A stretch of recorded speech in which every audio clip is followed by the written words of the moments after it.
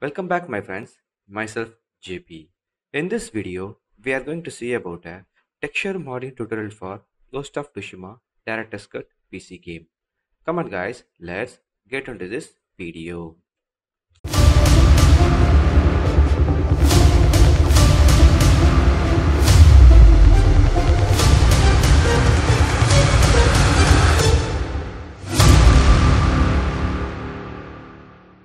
Okay guys, first of all, we need these application.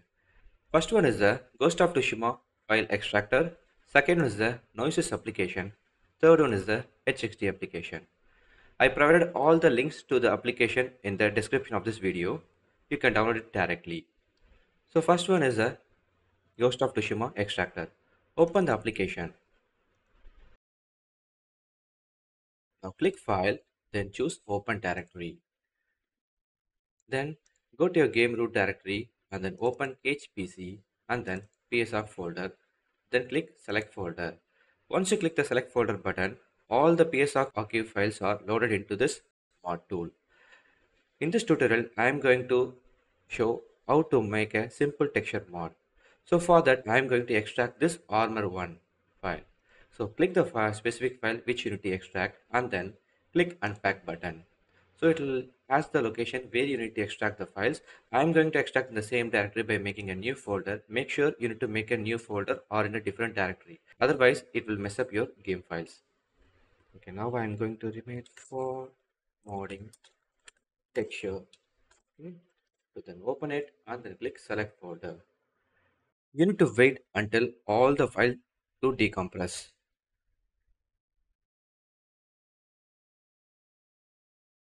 Okay, now the selected file has been extracted. Click OK button and then go to your game root directory. Then open the KHPC folder and then you can see a new folder named as bitmaps and the file name .txt. So open the bitmap folders and here you can see all the texture files. All the texture files are in the different format which means in the extension of .sps.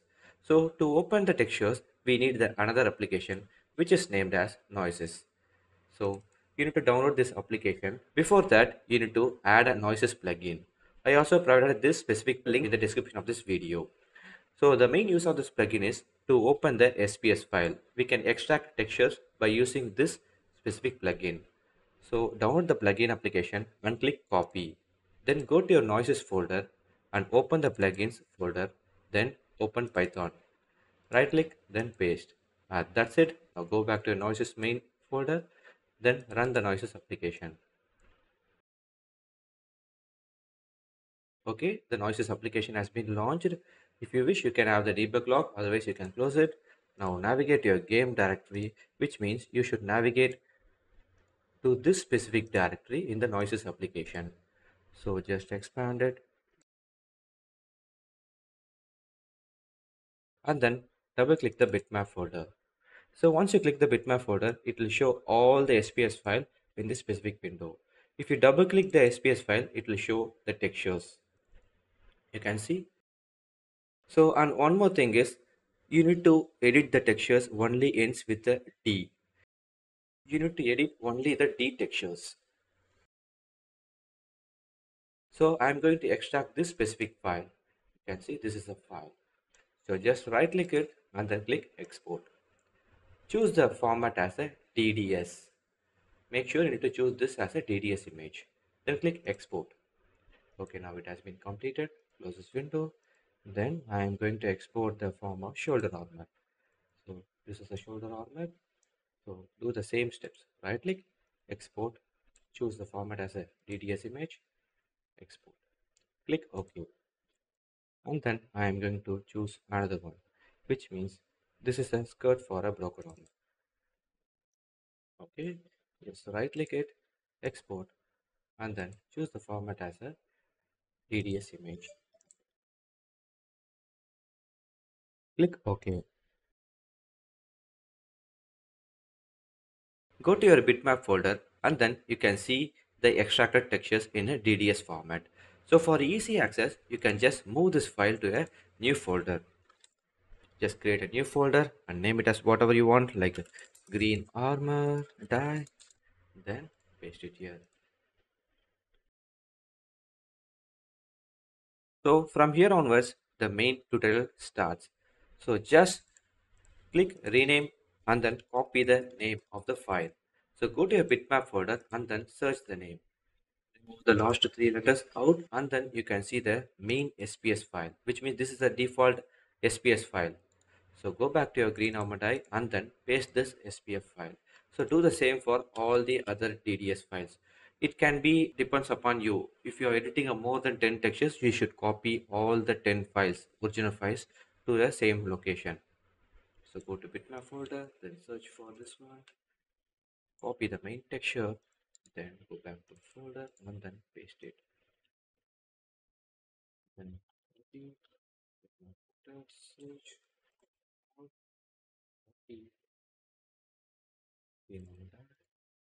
okay guys now we successfully pasted all the original textures into a separate folder. Okay guys, now you need to open the DDS file in a editing application. So I am using a Photoshop to edit this DDS file.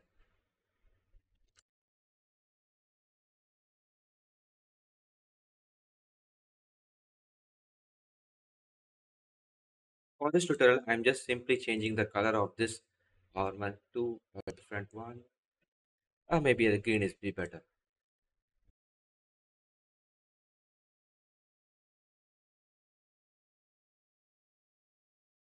Okay, now here is the very very main part, the compression. So you can see this image contains the alpha channel, which means you can see the transparency layer at the background. So which means this texture contain alpha channel.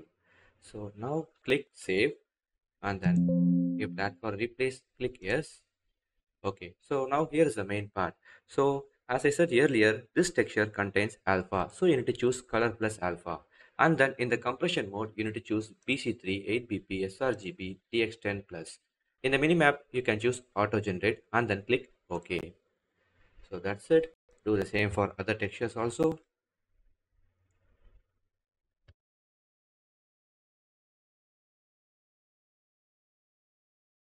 If you followed all the steps correctly and then saved the files with the perfect compression, then you can see the same file size as the original and the DDS. You can see both having the same file size. So if you see the same file size, then you, you are going in a right way. Okay, now you need to open all this file in the HXD application. I already installed this HXD application to my PC. I'm just opening it once the HXD application has been opened, just choose the SPS file and the DDS file. Maybe you can choose the same similar files with the same size. Then drag and drop into the HXD. The first one is the original SPS file. Second one is the modified DDS file. Go to the SPS file and then copy until the range. So here is another main part I think I am going to explain it, but uh, I'm not sure how you guys will understand. But anyhow, I will try to explain it more clearly.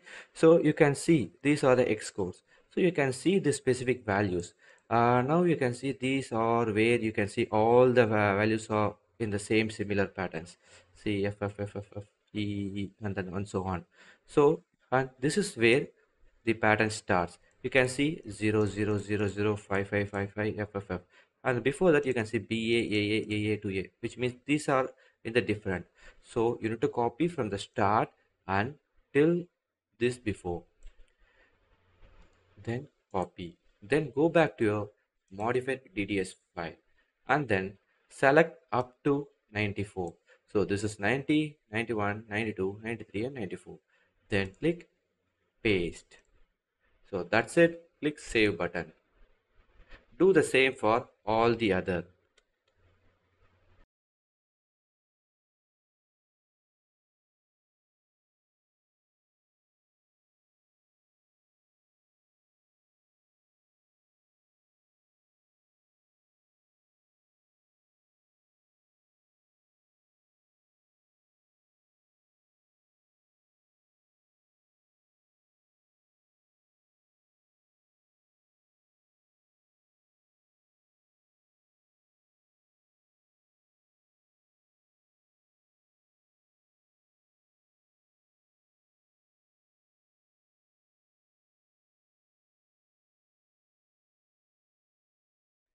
Okay, so now you can see there's another three files has been created, which means this is the backup file. Once you modified the files via HXD, it will automatically create a backup file. If anything occurs or you face any loss in the textures, you can just use this backup files to recover the modified DDS file. Now here is the main part. You need to find out the modified HXD file is working perfectly or not. Just rename all the files with the .sps extension. You need to only rename the DDS file. Okay, now go back to noesis once again. Then double click the bitmaps. And then you can see the green armor die folder. In that, you can see ends with the dds.sps. This is a modified texture. Select the first one. This is the default texture. And then this is the modified texture. If you see your modified texture in noesis application, then you are going in a right way. So you can check for all the files. This is the original one. This is the modified one. This is the original one. This is the modified one. So now that's it. We successfully modified the color textures and also converted into SPS file. So now we need to inject this SPS file into the game. So the steps are very simple.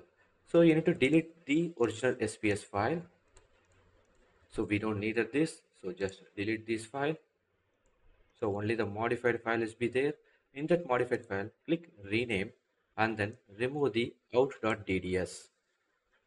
Do the same for all the other textures, which means I'm just keeping the exact name like the original file.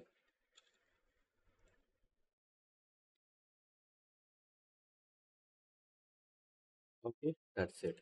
So now go to bitmap folder and delete all the SPS file. We don't need it. Okay, done. Now move this file into the bitmap folder. Okay guys, now go back to the modding texture folder and then you can see the file name dot text file.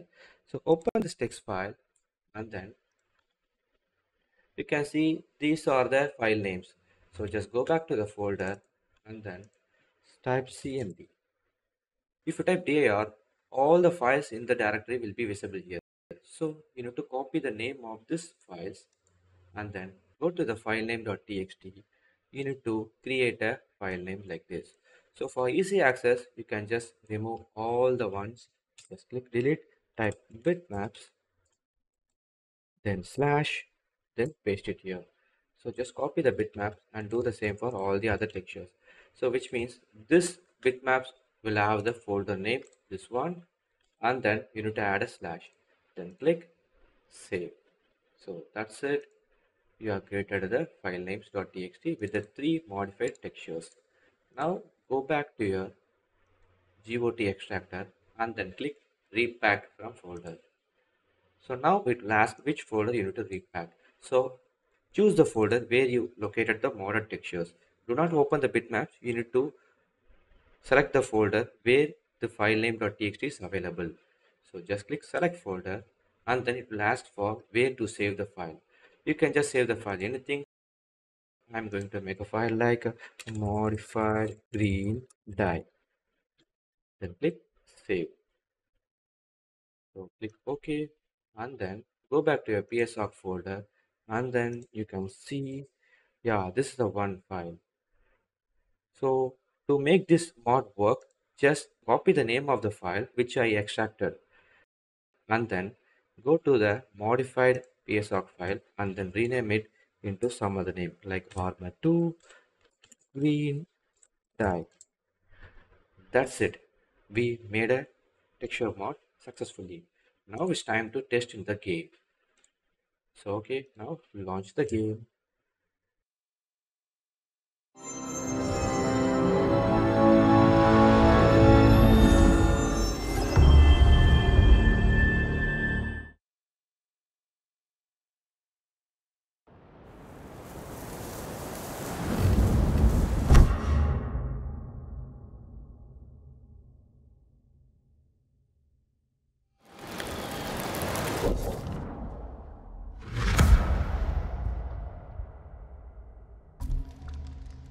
For this tutorial, I edited the broken armor dye to green color.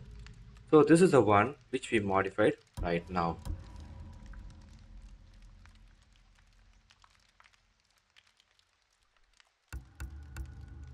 You can follow the same steps for to mod the other armor dyes also. Even the armor textures also you can modify by following the same method. I guess this method will work for all.